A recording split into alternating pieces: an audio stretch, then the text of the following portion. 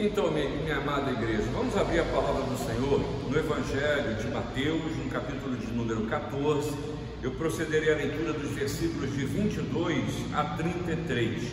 A palavra de Deus nos diz o seguinte: Logo a seguir, compeliu Jesus os discípulos a embarcar e passar adiante dele para o outro lado, enquanto ele despedia as multidões. E despedidas as multidões, subiu ao monte a fim de orar sozinho. Em caindo a tarde, lá estava ele, só.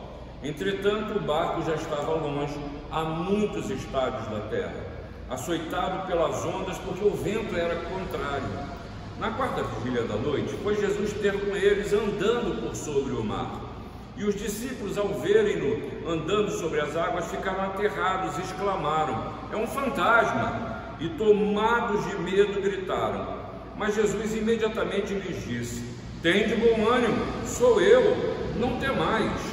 Respondendo-lhe Pedro, disse: Se és tu, Senhor, manda-me ir ter contigo porque por sobre as águas. E ele disse: Vem. E Pedro, descendo do barco, andou por sobre as águas e foi ter com Jesus. Reparando, porém, na força do vento, teve medo e, começando a submergir, gritou: Salva-me, Senhor. E prontamente Jesus, estendendo a mão, tomou e lhe disse: Homem de pequena fé, por que duvidaste? Subindo ambos para o barco, cessou o vento. E os que estavam no barco o adoraram, dizendo: Verdadeiramente és filho de Deus. Pois irmãos, vocês estão vendo aqui Jesus andando, e é interessante a gente sempre ouve falar de milagres.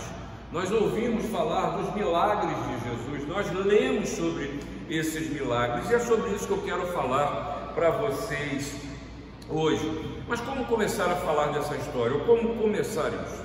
Pois eu preciso recuar um pouco e você entender que Jesus vinha caminhando com seus discípulos e preocupado que eles compreendessem o que é o reino de Deus. E por isso há uma série de parábolas, e nesses dois últimos domingos domingos eu tenho trazido uma exposição, falei primeiro do trigo e do joio, depois falei sobre a parábola da pérola, e a, a gente percebe nitidamente que Jesus está num processo de ensinar a seus discípulos, porque ele já caminha por uma parte é, mediana final do seu, do seu ministério. E aí Jesus mostra para os seus discípulos, já com alguma maturidade, que eles teriam decepções no ministério. Lá em Mateus 13, a partir do versículo 53, Jesus está dizendo lá de Nazaré que ele foi rejeitado pelos seus, e diz o porquê no versículo 58. A incredulidade impede a ação de Deus. Isso não é só entre os seus, não. Isso é uma grande verdade que Jesus nos mostra que você muitas vezes está preocupado em Deus fazer, mas você não acredita. A incredulidade, ela impede a ação de Deus. Depois o Mateus passa a descrever a morte de, de João Batista, demonstrando assim a desvalorização da vida, o ser humano como um joguete nas mãos, e Jesus ouviu da morte e saiu daquele ambiente. Depois a gente vê a multidão faminta e a famosa multiplicação de pães e peixes. E vemos ali, é um episódio não só lindo, mas um episódio extremamente esclarecedor. Porque, por exemplo, para a multidão, diz João que, João que Jesus sai dali porque queriam proclamar o rei. João 6,15 fala isso. Ou seja, a distorção da figura e do ministério de Jesus que ainda hoje a gente vê acontecer, né? Mas para os discípulos eles viram como Jesus age. Mais do que isso, você, eles sabiam quem era Jesus. E a gente, com decorrência dessa multiplicação, se dissolve as multidões alimentadas voltam para os seus lugares. Diz o texto que Jesus a, a, caminha e ficou na montanha e ele fica ali para orar, né? E aí é um grande destaque. O próprio Jesus dava um grande valor à oração. Os discípulos vão para o mar, Jesus fica, e essa simbologia do mar é muito antiga e a gente não pode desconsiderá-la. Né? O mar aguarda e esconde os monstros da natureza ou das profundezas, a gente sempre ouviu dizer. Do mar, o livro de Apocalipse nos diz que emerge uma das bestas do Apocalipse. Lembre-se que o mar vai ser o sinal de separação do inimigo para o povo que saía do Egito. E eles navegam neste mar. E diz o texto que é em torno de 5 a 7 quilômetros de remo. Né? E com isso, pelas dimensões do próprio mar da Galileia, eles estavam no meio do, do mar. E aqui a gente chega ao ponto. Nós chegamos ao ponto. Ah, mas com começou, o mar começa a empolar, agitado por vento que, que soprava, um barco fustigado pelas ondas, vento contrário, eles estavam cansados, exaustos, remando contra ah, o vento desde o final do dia até a madrugada, e eles já tinham passado por outras tempestades nesse mar.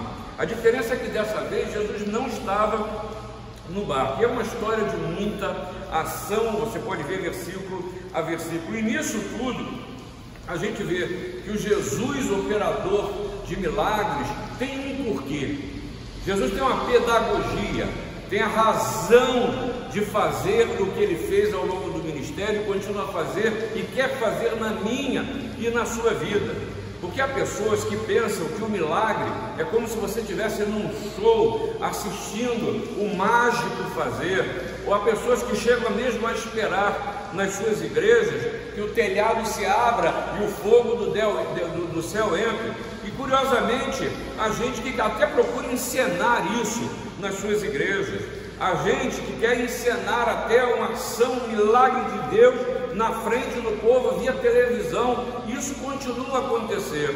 O milagre pelo milagre, ou melhor, a tentativa de simular um milagre simplesmente para trazer curiosidade ou, quem sabe, demonstrar um poder espiritual que não há ser humano que o tenha. Mas aí, a primeira lição que Jesus nos dá é que tem um porquê de realizar um milagre na sua vida. Tem um efeito pedagógico. Discípulo, primeiramente, precisa aprender a andar sozinho, precisa aprender ou a saber como Deus age. E aqui está o exemplo do que a distância de Jesus pode causar. E nisso eu quero dizer para você, eu tenho usado muito essa terminologia, eu quero insistir nela, eu quero falar sobre um cristianismo que é ateu, que conhece a Jesus, que sabe distingui-lo muito bem, ou defini-lo muito bem, que fala de Jesus, que canta de Jesus, que ora a Jesus, que as suas orações terminam por dizer que em nome de Jesus, amém que é capaz de fazer belas citações, citam João 3,16 de cor, porque Deus amou o mundo de tal maneira que deu e por aí vai. Mas no jogo da vida, na realidade, age como esses discípulos. Estão remando para o meio de uma tempestade. Eles não estavam fugindo da tempestade, eles estavam indo para o meio da tempestade. Sabe o que é pior? Ah, eles são pescadores. Eles entendem de mar, não perguntam para onde vão, não precisam disso, eles são capazes. Mas quando encontram a tempestade, você sabe muito bem que há determinados momentos que não há saber, não há instrumentos, não há ferramentas, é está largado ao sabor das ondas, e aí nessa hora é que bate o desespero. É nessa hora que você vê aqui que homens experientes, marinheiros experientes, veem até fantasmas. E aí nessa hora eu pergunto: cadê as afirmações de fé? Onde está a palavra de Deus? Cadê o Deus que você cultua domingo após domingo nas tempestades que eu e você precisamos passar? Cadê o Deus que você descreve nesse momento de pandemia? Ah, talvez você esteja vivendo um cristianismo que é ateu. Seu Jesus, cadê? são postulados não vividos, são postulados não experimentados. Talvez as experiências com o Senhor Jesus não sejam nem suas, nem minhas, mas a história da vida dos outros, ou a história que nos contam. Pode até acontecer que a gente esteja vivendo uma fé que é do passado. Infelizmente, às vezes a gente é tentado a fazer isso. Ah, eu confesso a Jesus como meu Senhor Salvador, o tempo passa, minha fé esfria, e eu vivo uma vida acostumada, que eu um dia tive uma relação mais íntima com Deus, hoje nem isso tenho, não leio palavra, não moro, não vou à igreja, aí me deram um nome especial de desigrejado para justificar a minha frieza na fé, mas também pode até acontecer que a minha e a sua fé tenham se transformado num antropocentrismo religioso, em que eu é o centro, você é o centro, que você é só necessidades, que você precisa suprir as suas necessidades, que você enquadre Deus no tamanho e no espaço que Ele merece na sua vida. Se Ele é só uma Bíblia aberta em cima da sua mesa em casa, se Ele é só no momento do desespero que você faz, ó oh, Deus, o que você está fazendo comigo? Momentos, episódios, e a gente se esquece daquilo que o Senhor Jesus falou em João, para que eu me lembre você se lembre: sem mim nada podeis fazer. E aí a gente aprende aqui nesse texto também que a, o que causa a distância de Jesus na vida do discípulo, sabe, irmãos? Hoje a gente sofre a tentação de viver um cristianismo sem Cristo, cristianismo cultural. Estou insistindo nisso, de costume, de rito, de obrigação, de realização, de, de espetáculo. Mas se eu for, for me analisar e olhar para dentro, Cristo não faz parte disso. Por quê? É um cristianismo que não muda a vida, que não transforma, cujo discurso é irrelevante. Eu preciso, antes de falar para os outros, ser verdadeiro comigo mesmo. Fora do universo da igreja, a pergunta é: que diferença Jesus faz nas suas decisões, nas suas opções, na sua vida, nas posturas e nas realizações? E olha, eu não, não tenho medo de dizer isso e tenho certeza que eu não erro. Pois, apesar de ser um contrassenso, há muito crente hoje com um tremendo vazio interior. E esse vazio tem o tamanho de Jesus. E aí, Jesus, ele continua a falar para discípulo, para os seus discípulos. Você veja bem, versículo 22. Quem foi que os, que os compeliu para o mar? Foi Jesus. Versículo 26. Quem ficou aterrado com Jesus? Os discípulos. Versículo 27. Quem duvidou? Os discípulos. E essa narrativa gira em torno dessa questão, a ausência e a presença de Jesus. Preste atenção. Ou seja, preste atenção, veja os sinais da presença de Jesus na sua vida. Veja os sinais da ausência de Jesus na sua vida. A pergunta que eu faço é o seguinte: pães têm sido multiplicados? O mar está calmo ou está havendo tempestade? No meio da tempestade, o que você tem sentido? É paz e certeza do livramento ou é desespero? Você diz ter fé, mas está sentindo que de repente a água está chegando na altura dos joelhos? E aí a gente vê um problema muito sério. É aquela operação, oração que eu e você fazemos que nem a gente mesmo acredita no que está falando. Ou então, desculpa uma, uma expressão, você conhece o tipo de crente que eu chamo de crente bobo alegre? É isso mesmo. Aquele crente que declara, levanta as mãos no meio da igreja e declara: Jesus é o meu Senhor, mas não experimenta esse senhorio em sua vida. Ah, Jesus restaura, e até canta: restaura a minha vida, restaura a minha família, restaura, mas tá com a, continua com a vida destroçada. Continua com a vida destroçada. Quero dizer que isso são sinais da ausência de Jesus. Isso fala a você a quantidade, ou quem sabe se você percebe a presença de Jesus na sua caminhada. E eu quero dizer para você, hein? se você perceber a ausência, eu tenho certeza, porque o próprio Jesus nos diz que a culpa não é dele. Porque ele diz: Eis que estou convosco todos os dias das nossas vidas. Sabe, Jesus se identifica diante dos, dos discípulos, isso é maravilhoso como Deus encarnado. Veja no versículo 27 o que ele diz. Mas Jesus imediatamente lhes disse: Tem de bom ânimo, eu sou, ou sou eu, não mais. E essa terminologia, eu sou, sou eu, tem um significado maravilhoso na palavra de Deus. Né? Em Êxodo você encontra dizendo: Assim dirás os filhos de Israel: Eu sou, me enviou a vós outros. Jesus usou esse mesmo termo eu sou em sete declarações sobre si mesmo, ele revelando a figura de Deus, e em todas as sete ele combina a expressão eu sou com metáforas que expressam a sua imensa relação de salvação com o mundo. E todas essas você vê no, no livro de, de João, lembra? Eu sou o pão da vida, eu sou a luz do mundo, Eu sou a porta das ovelhas, eu sou o bom pastor, eu sou a ressurreição, a vida, eu sou o caminho, a verdade e a vida, eu sou a videira verdadeira. Sabe, irmãos, eu não, não posso, e eu tenho que corrigir na minha mente, no meu coração, um pensamento que diminui a pessoa de Jesus Cristo.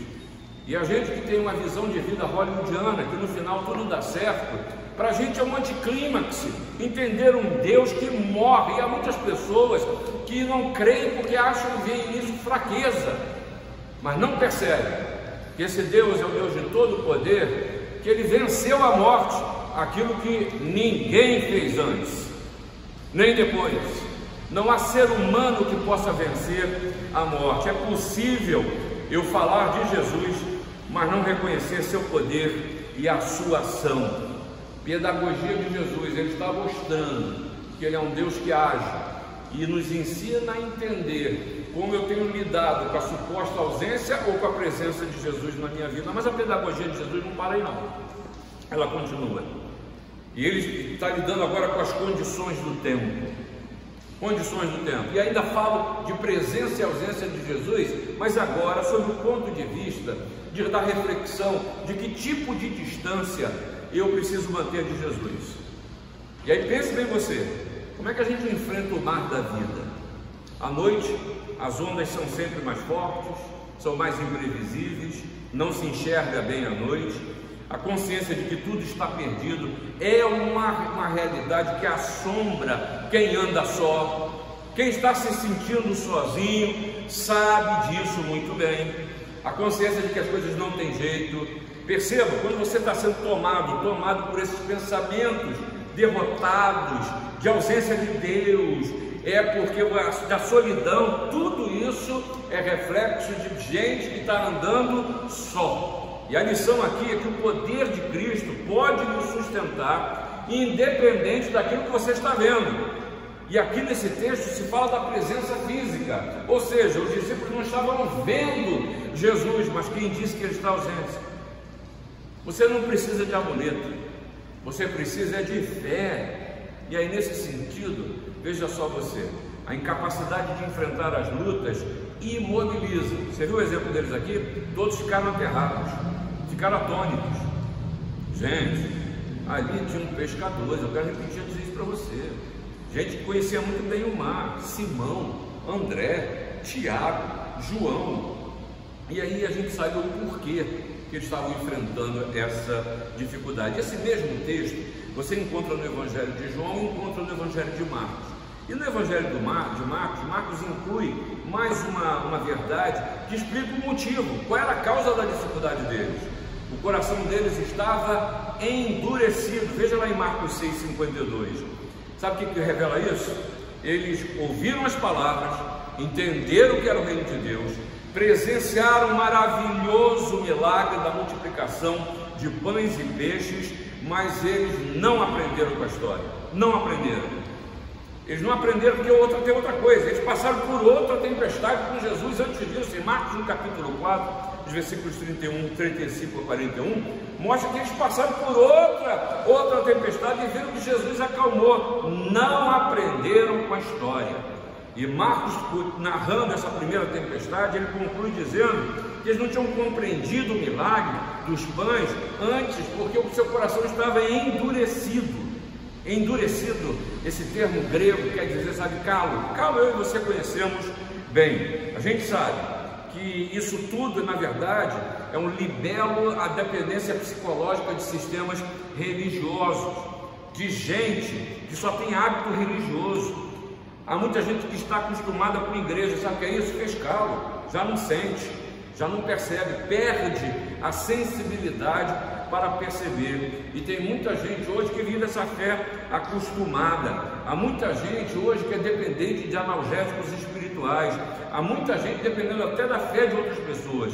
Há muitas pessoas abrindo mão de um relacionamento real, integral e pleno com Deus, com medo de ter que assumir o mar da vida, mas continua afundando em suas lutas, porque não tem jeito. O próprio Jesus disse: No mundo tereis ou passais por aflições, mas tem de bom ânimo, porque eu venci o mundo. E aqui eu vi o Papa Francisco dizer uma coisa que eu achei muito interessante, eu quero compartilhar com você.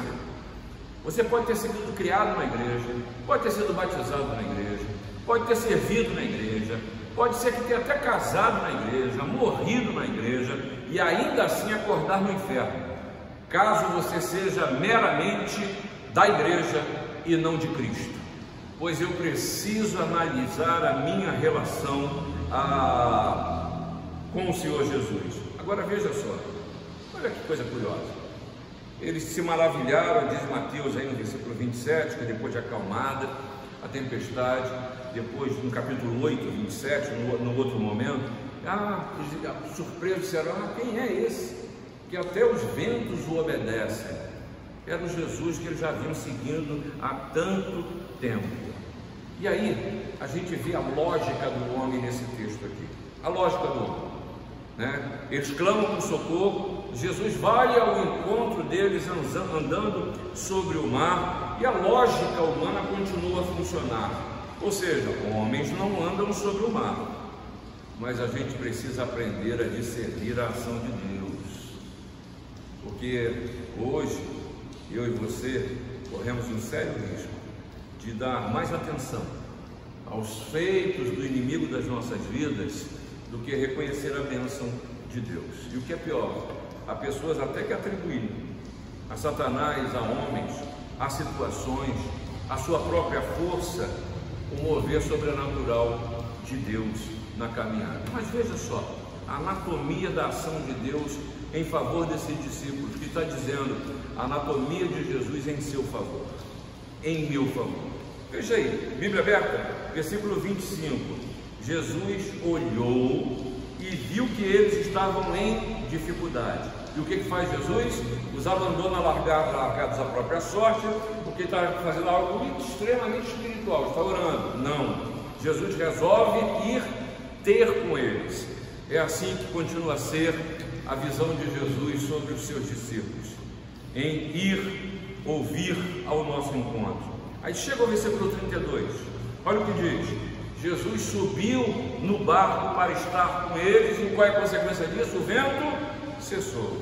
Aí você que foi criado, nasceu e criado na, na, na igreja, sabe, ele canta desde pequeno, né? Com Cristo no barco, tudo vai muito bem e cessa o temporal. Aí está algo que eu queria que você parasse para pensar no mar da sua vida e no barco em que você está. Mas aí tem uma mensagem de Jesus para nós.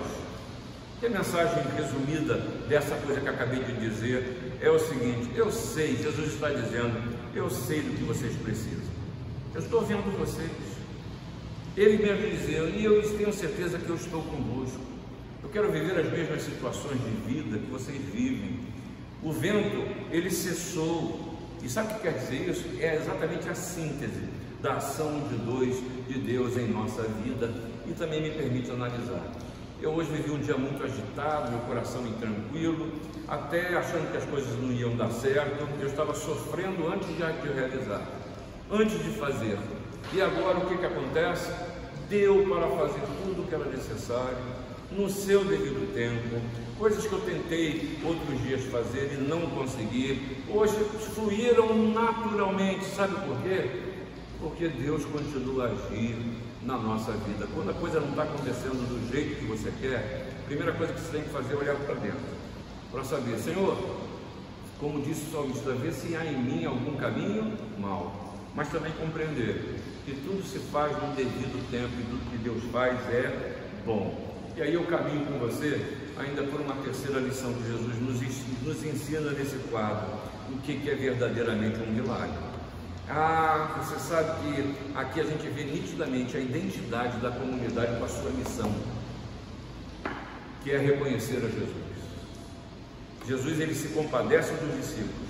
E aqui nesse momento a figura de Pedro, Pedrão, ele emerge nessa história. Pedro, pescador, conhecia o mar. Pedro olha para Jesus, vai ao seu encontro. Pedro estava indo até bem, até prestar atenção na força do vento.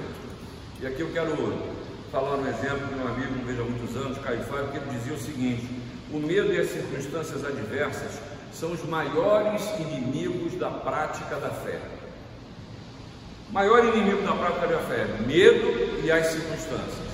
Por isso que a gente canta tanto tempo e continua a, a se equivocar. Não olha as circunstâncias. Conversa, a gente fala isso para tentar se convencer. Mas as circunstâncias nos abalam. E a gente vê que a fé de Pedro era pequena porque ele simplesmente não perseverou. Começou muito bem, saiu do barco foi ao encontro. E com a gente acontece muitas vezes, muitas vezes isso. A gente experimenta pouco o milagre. E a gente experimenta o milagre por pouco tempo. A gente crê, mas não ora, por exemplo. No primeiro contratempo, a gente até desiste. Quando a gente pede a recuperação de alguém, e agora eu quero que você pense nisso. Né? Vamos lá, nós estamos com uma pessoa na igreja que tem uma doença que é crônica e terminal. Vamos orar pedindo a recuperação dela. Mas no interior, muitas vezes o que a gente diz é o seguinte: é tadinha, né? Vamos orar, mas é recuperar, não tem jeito não. A pergunta é: até onde você tem fé para seguir na sua vida? A fé é pequena porque não perdura, não se sustenta. É muito difícil a gente desvincular a força das lutas da mão do Salvador. E a gente precisa aprender a fazer isso. A reverendo Moisés Ribeiro dizia uma coisa muito interessante, que esse é um grande mistério da alma. Diante das maiores lutas, em vez da gente se apegar mais em Deus, é aí um momento que a gente duvida mais e descrê mais, ou o que é pior, nós descremos, nós descremos e a gente procura tomar nas nossas próprias mãos o direito e a capacidade de decidir, de fazer, de caminhar e sofrer as consequências da nossa incredulidade. Spurgeon nos chama a atenção para o motivo das nossas dúvidas, nos convidando a refletir: por que eu duvido? Por que você duvida? A gente pode citar experiências das promessas de Deus que foram quebradas? Não há nenhuma, todas se cumpriram ou estão se cumprindo. O presente mal, ele está além do poder da, da, da onipotência de Deus? De maneira nenhuma. O Senhor continua sendo ser Deus e controlar a história. As promessas de Deus foram abolidas? De forma alguma. A, a, a gente que creu e ainda assim não foi atendido por Deus, isso não existe exemplo. O Evangelho do Senhor foi revogado, a misericórdia de Deus se acabou, Deus parou de agir é, com graça, não. Mas a gente precisa pensar, diz Spurgeon, nos verdadeiros motivos e ousar declará-los para a gente mesmo, assumir isso. Eu preciso assumir o meu senso de culpa. Eu preciso assumir que os meus pecados são grandes, numerosos, são agravosos, são singulares, que eu não posso pensar em salvação só para mim, que meus fracassos justificam o desespero, quando eles são vistos ao lado das, das realizações dos outros homens e revelam, na verdade, o que é inveja, em não perceber que Deus está agindo também na minha, na minha vida, nas minhas provações, que são tão peculiares, tão aterradoras, tão longas e tão variadas, quando o meu coração falha e eu ouso dizer que não suporto mais. Jesus sabe disso tudo. Em vez de te julgar, em vez de apontar o dedo, ele se compadece e clama os seus discípulos: Salva-me, Senhor! Clama pleno aí no versículo 30. E o salmista nos mostra o que é passar pelo que Pedro está passando. Salmo 69, versículos de 1 a 3, nos diz o seguinte: Salva, meu Deus, porque as águas me sobem até a alma Estou atolado em profundo lamaçal que não dá pé. Estou nas profundezas das águas e a corrente me submerge. Estou cansado de clamar. Secou-se minha garganta, os meus olhos desfalecem de tanto esperar por meu Deus. E sabe como o Senhor age? Como Jesus agiu aqui? Acalmando os temores dos seus discípulos, acalmando os nossos temores. Aí você veja, o pavor repentino turvou a interpretação da realidade. Isso acontece nos nossos momentos de crise. Veja só, pensaram se tratar de um fantasma e gritaram. Gente, conheciam Jesus, conviviam com ele. E a gente assim, que conhece Jesus, crê nele, adora a Deus, mas diante das menores lutas vem fantasmas na sua existência. Quantas vezes a gente não tem que conversar e mostrar para a pessoa, gente, não é isso que está acontecendo. A realidade não é essa. Você criou isso na sua mente. Quanta gente desfaz relação pensando no que não sabe, no que não viu, desconfiando daquilo que não tem motivo para desconfiar, ou seja, gerando uma vida que é de incerteza, de desconfiança. Sabe, você sabe, aqui eu quero até falar para você que não crê, porque tem gente que se pega nessa, nessa, nesse momento da história, nessa tempestade, pelo fato de duvidar que Jesus tenha andado por sobre o mar. Mas eu quero dizer para você o seguinte: quero trazer uma coisa, uma curiosidade para você pensar.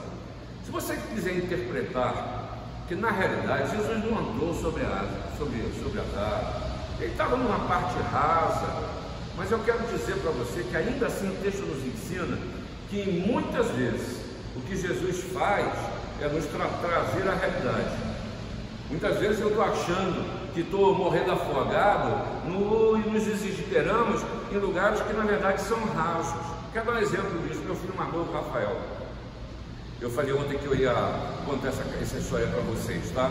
Verdade, nós estávamos de férias e a gente ia muito para aquela região de Guarapari, no Espírito Santo, e tinha uma praia lá, que era praia que só ia as crianças, porque não tinha muito, muita, muita onda, o mar estava rasinho, água boa, e ele doido para ir para para A mãe chegou, botou lá a sunguinha nele, aí começou a apagar, ele querendo correr para ir para o mar, ela segura de cá, bota a tal das bolinhas no braço, bota aquele negócio, como é que é? O negócio de para não queimar no corpo todo, bisunto moleque, e agora vamos embora. Ele sai, parte para dentro do mar. Quando ele pisa primeiro na água assim, ele abaixa a cabeça e a cabeça dele entra dentro da água. E ele ficou e não tirava a cabeça. Ele estava a ponto, eu acho, de morrer afogado. Até que uma senhora salvou a vida do meu filho. Sabe como é que ela fez? Ela puxou a cabecinha dele, levantou, o bicho estava bebendo água. Ou seja, meu filho estava correndo o risco de morrer com os pés no chão, numa água que não dava 15 centímetros, porque abaixou a cabeça e, e entrou em, em, em, desespero por causa daquilo. É, você está rindo do meu pequeno Rafael, mas agora já é um homem feito, graças a Deus mas você sabe que aquilo me ensinou muito. Eu olhei para aquilo e falei assim: é, o Senhor está me mostrando que quantas vezes eu não me desespero, me desespero, estando com os pés no chão, estando com o meu corpo todo fora d'água, e eu me abaixo por minha ação, eu enfio a cabeça debaixo d'água, é só o Senhor pega pelo cucuruto e levanta assim. Ah, meu irmão, isso é uma lição para a sua vida. Isso é a presença de Jesus que faz. Se a presença de Jesus na sua vida que te chama a prestar atenção que as circunstâncias não precisam e não devem ser observadas quando Jesus ele é identificado nelas. Você não precisa temer as circunstâncias. E aí me leva a refletir e caminhando para o final, te chamar a atenção. Que tipo de experiência você tem tido com Jesus? Ela lhe, lhe dá imunidade é, para o bem sentir, no momento do choro, nos momentos das dúvidas, ela lhe permite passar pelas agruras, mas ter uma fé confiante de que Deus vai permitir a você passar por mais este, este mar.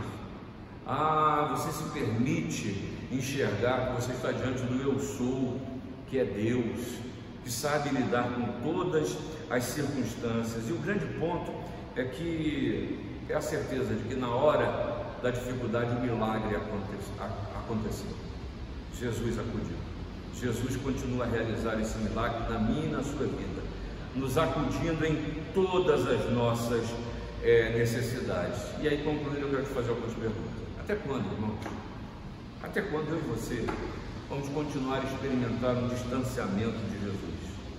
Até quando a gente vai separar certas áreas da nossa vida e manter, mantê-los como se elas tivessem a ausência de Deus. Até quando a gente vai julgar que determinadas coisas na sua vida não interessam a Deus? Até quando eu vou continuar reclamando e achando que estou me livrando de um problema, mas estou indo para o centro dele? Independente de que ponto você esteja, alguns discípulos dizem crer, mas não reconhecem Jesus. Alguns discípulos creem, creem sim, experimentam, experimentam andar sobre as águas, mas na, na caminhada titubeio, titubeio. Mas é preciso a gente fazer uma confissão de fé, experimentar a realidade de se ver o tempo inteiro como Filho de Deus na presença dele, porque Jesus continua a ser o operador de milagres. E que milagre você prefere na sua vida? Para alguns se satisfazem em dizer: Oh, Jesus andou sobre o mar. Mas o verdadeiro milagre está no reconhecimento da ação transcendente de Deus na sua vida, que não importam as circunstâncias, Ele continua a te abençoar. Que Deus te abençoe.